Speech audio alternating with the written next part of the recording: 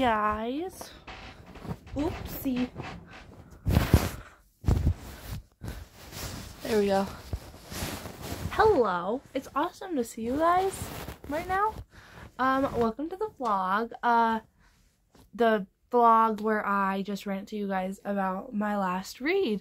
So today we're talking about the selection. Um, I just finished reading it. It took me like two days to read. I couldn't put it down. I was eating it. I was I was reading it while I was eating, doing chores, doing school even.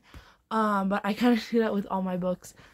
But it was so so so good. Um, from like beginning to end, just like I could not put it down. Um, there probably will be spoilers in this video, so I'll put timestamps in probably, just so I just so you guys know where to um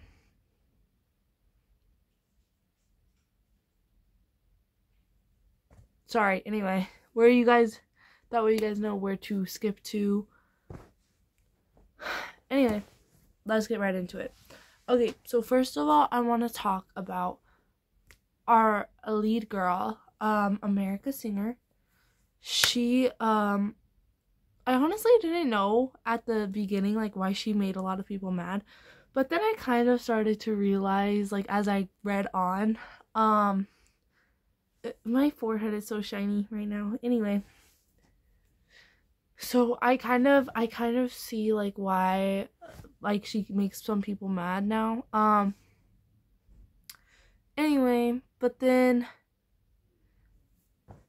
if y'all are team Aspen, I'm sorry. I know the bio says we accept everyone here, but if y'all are team Aspen, get off my page right now. I'm sorry. This is one of the only things. This is one of the only this is one of the only uh love triangles where I really really really take a side, you know? And like I did it with like Rachel and Annabeth even though I've never even read the Percy Jackson series. I just like my best friend would like rant to me about how Percy Jackson was going and she's like, Oh, this girl named Rachel just blah blah blah blah blah blah and Percy and Annabeth and blah blah blah and Rachel and blah so yeah, I'm team Annabeth personally. Uh, but only because of what my uh my best friend has told me. Uh, also Gale and Peeta. I am Team Peeta all the way. Like if y'all are Team Gale, like yeah, you're still welcome here. But just know that uh just know that you're not my favorite person. Anyway, if I seem like upset at all in this video, guys, I am so sorry. I had a terrible night at softball practice. Like, the assistant coach, who's really just some dad that just came in one day and was like, I own this team. Like, literally, his daughter joined the team, and then he, uh, he like started barking orders at all the girls like he was an assistant coach when really he was not. And he was telling us all where to go like completely just like he just completely like trumped the main coach. And that just really made me mad uh from like right from the start. And it's been like that for like a year now but he was really really angry tonight. And i can see why because like there was very little effort from a lot of the girls out there. And i was like giving I was putting in the effort. I wasn't necessarily giving 110% though, uh like I usually do because I am just so sick of his baloney. But that's not the point. Um anyway, yeah. So if I seem mad, that's why. Anyway, so if you're team Aspen, I'm sorry. Get off my page because that guy is a D bag. And if you are a man, or I'm sorry, I should say boy, if you are a boy who thinks that kind of appro- that kind of behavior is appropriate, then you need to get off my page. If you are a girl who has been treated like that and thinks that's normal, get help please, I will personally pay for your therapy. okay. And then we have Maxon, which is like, I think, I think it's safe to say we're all Maxon simps? I feel like even if like you're like a lesbian, like you're us, you're gonna be a simp for Maxon. Sorry, this is such a weird angle. I hate this angle. I hate this angle. Ugh, whatever. Anyway, that's a little better. What if I just like, wait, hold on. I have an extra pillow, guys. What if I just set it up? Because if y'all didn't know, my setup is literally just like bunching up a quilt or a pillow and using that as my setup. Anyway. But anyway, so Maxon and Aaron Warner should be the standard. And I thought it was so cute, like some of the things that he said to America. And I thought it was so sweet that, like, he didn't just want her for her body, which is like the bare freaking minimum. like, that one point, like, this is like a minor spoiler, so you guys probably don't have to skip ahead because it's at like the very beginning of the book and it's like super super small. Uh, but at like the beginning of the book, uh, America, America gets like a visitor from this dude and he tells her like whatever the prince says do it because that's not like a rule but you should do it anyway and then she thinks like oh no he's gonna ask me to do the nasty and then he wasn't going to. She need him in the groin. And I just I I thought it was really sweet that he wasn't actually going to ask for that. But then I realized like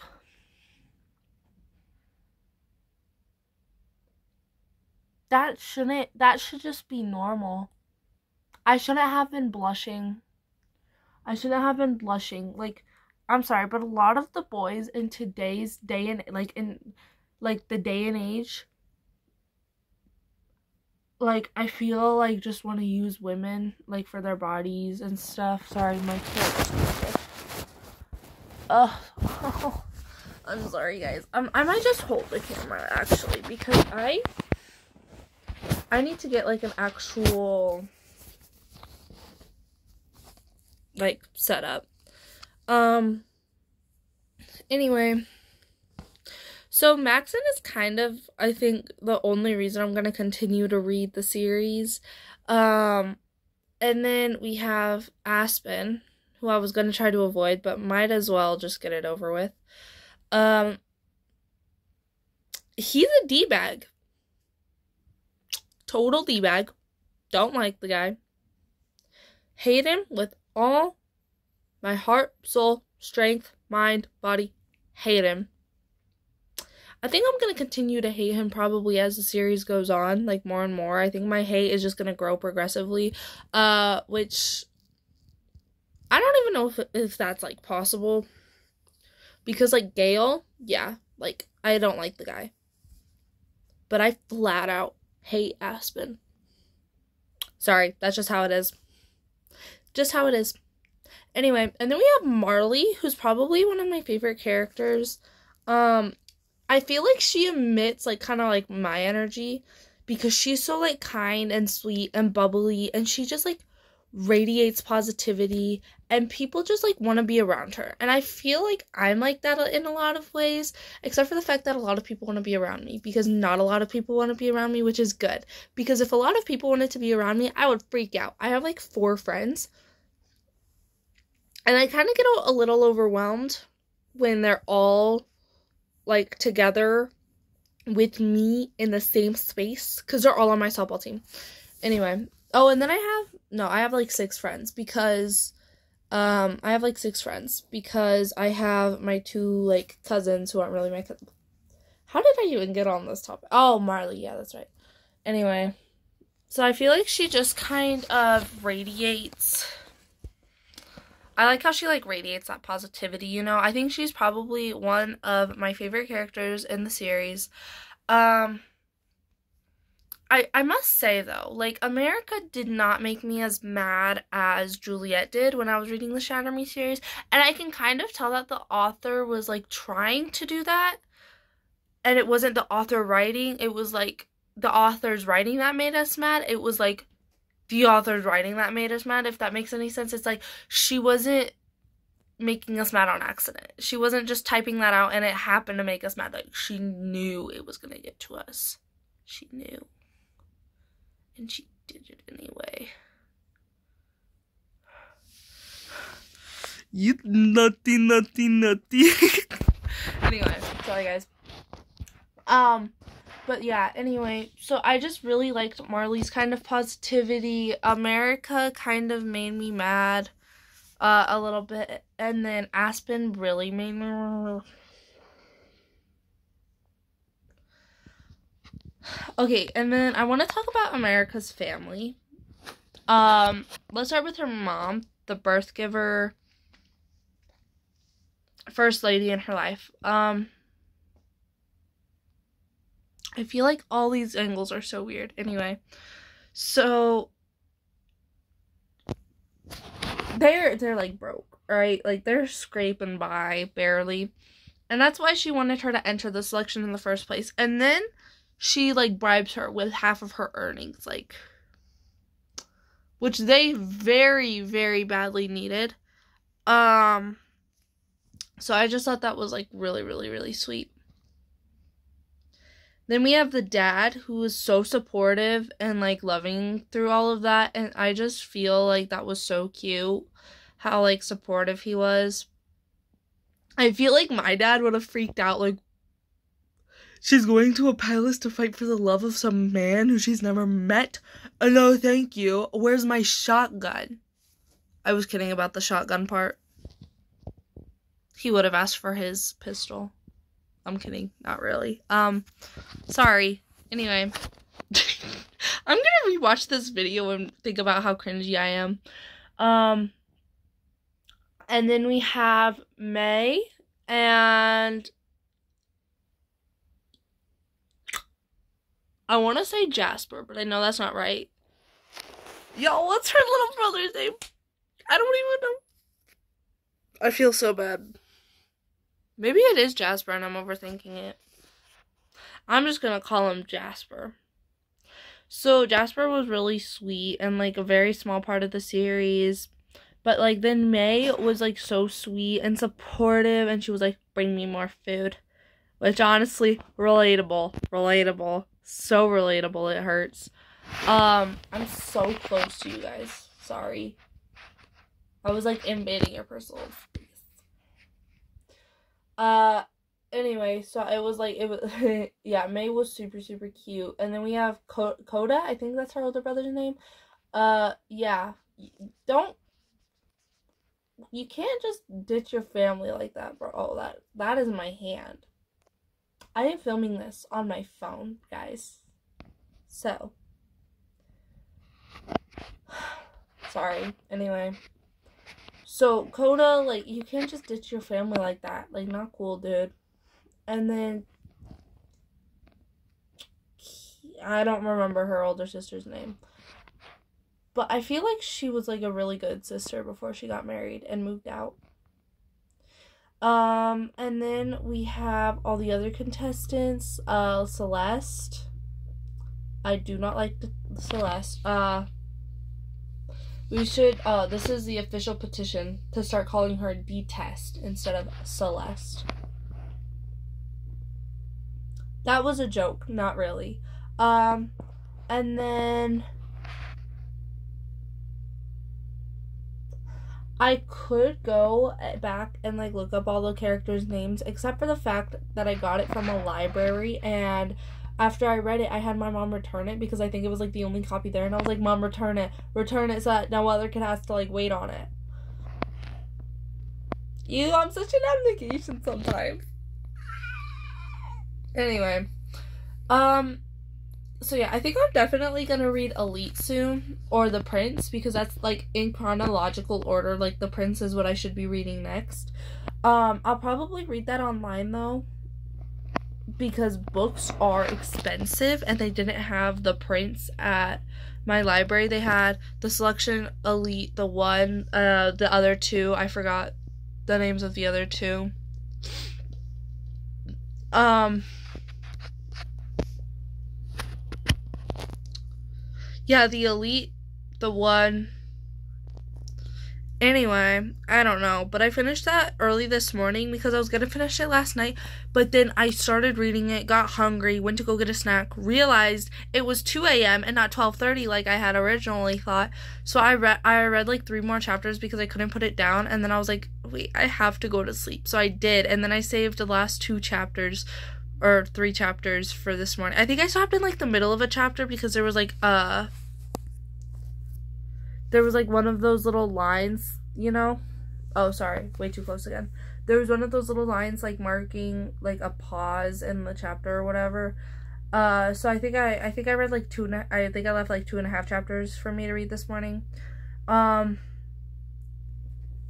and then um, if you're watching up to this point, thank you so much. I love you guys. Um, by the way, so if you guys haven't read the um the selection yet, I would click off here. I love you guys. Have a great day. But I'm gonna get into some like I'm gonna get into some of my like favorite scenes and they're probably gonna have some major spoilers. So like feel free to click off um just right now if you haven't read the selection yet and just come back come back so we could talk about it. Like my DMs are always open, just like come back and we could talk about some of our favorite scenes from the book. Um okay, so let's just get right into it. Okay, so I don't know if I should start with my favorite scene or my least favorite scene from the book. I don't know. I don't know. Okay, so let me just say the first scene that comes to mind. That scene where Celeste tore America's red dress. That made me so mad. Not just because she, like, invaded America's, like, like assaulted America, but also because her maids worked so hard on that dress and her maids were so excited for it. And honestly, those maids are probably some of my favorite characters. Um, and I, it just made me so mad. Um, and then there was that scene where Aspen became like the guard. That also made me, that was like, I had a Damian moment, guys. I was like, oh no, she did not. If you guys haven't seen Mean Girls, you should go watch Mean Girls. If you are under the ages of, if you're under the age of like 12, do not go watch Mean Girls. But if you are like 12 and up, go watch Mean Girls. It's a great flippin' movie, but it's probably not appropriate for people under 12. Unless you're like very mature. I'm getting off topic again. Uh, um, so yeah, the scene where Aspen like that made me really mad. And then when he like slipped into her room, like you can't invade a girl's personal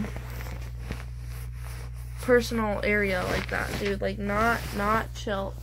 That was very not casual. I'm just gonna use my feet because my arms are tired from practice. Uh, and my legs, honestly, too, because we did so much running. Um,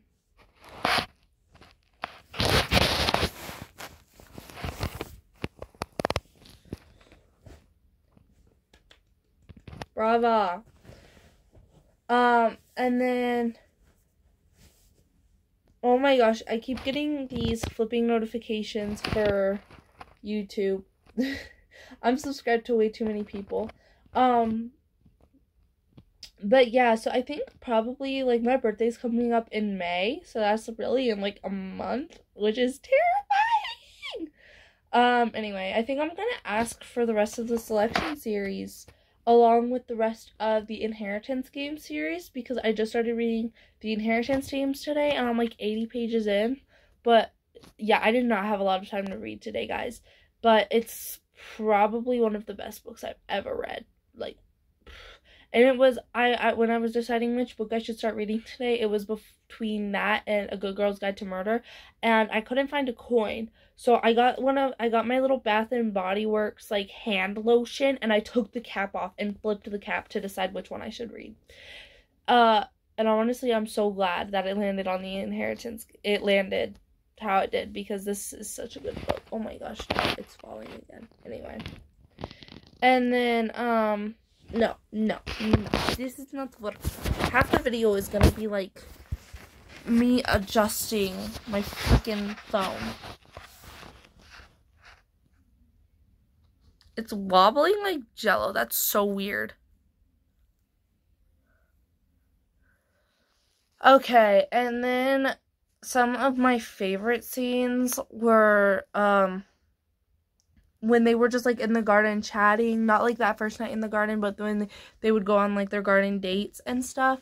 Um and then Oh, before I start moving on to the favorites, that scene where she kissed Aspen when she was like catching feelings for Maxon, but then like kissed Aspen anyway. Like that that was also one of my least favorite scenes. Okay, anyway, so then like the garden scene and then the scene where Maxon kissed her on the forehead I just thought was so cute. Forehead kisses are just so cute. Um um and then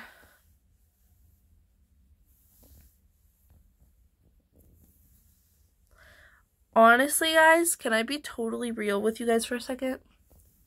Cool. Uh, I have like crippling anxiety with the way that my hair feels and smells. Not the way that it looks, but the way that it feels and smells. So I fidget with my hair a lot. And sometimes I'll, I'll even do that. Because, and, and can I, could I be totally honest for a sec? I'm pretty sure it's because I read a lot. And in all those romance books I read, when they're like making out, he'll run his fingers through her hair and then like smell her hair. Which is so weird.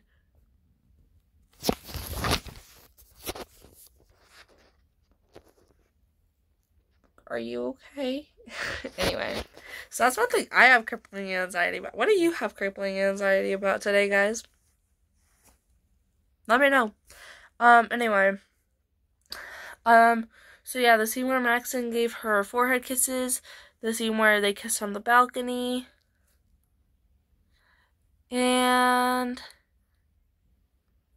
yeah, I think those were probably my favorite scenes out of the whole book. Um, but yeah, I'm gonna, guys, I feel bad. I feel like I was so sloppy on this today. I will probably remake it one day when I'm a little bit better rested. This daylight savings has everyone messed up except my sleep schedule is already jacked up, and then you throw daylight savings into the mix, so that's not fun to deal with. Um, so I've basically been in a coma since daylight savings started. Um, and then like I haven't been getting enough sleep at night and like one day I was working out and I forgot to wash my face afterward. That was like 3 days ago and I'm breaking out so bad. And it's I'm kidding. I'm not going to bite my hair. I'm not weird. Who does that? You. You do it, don't you? It's cool. I still love you. Uh but yeah, I feel bad. I feel like this was kind of like a sloppy vlog, but I'll probably make one when I'm like better rested, better adjusted to daylight savings, when I'm not so mad at a softball dad. you know. Um anyway, love you guys. Have a great night. Bye.